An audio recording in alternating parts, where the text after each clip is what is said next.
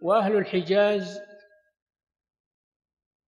كانوا على دين أبيهم إسماعيل ابن إبراهيم عليهم الصلاة والسلام وهو في الحقيقة هو دين إبراهيم عليه الصلاة والسلام.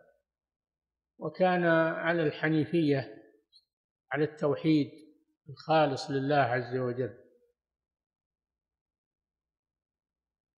ثم إنه دب إليهم الشر مع طول المدة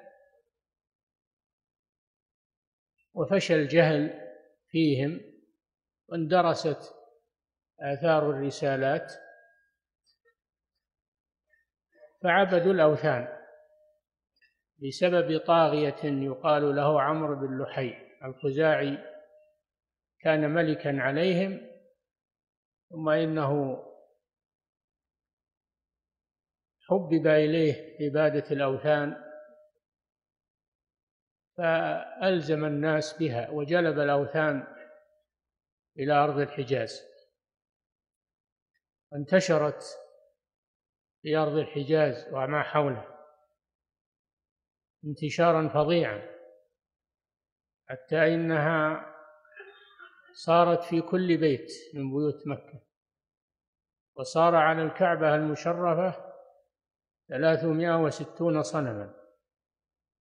وعلى الصفا والمروة إساف ونائلة. وهبل.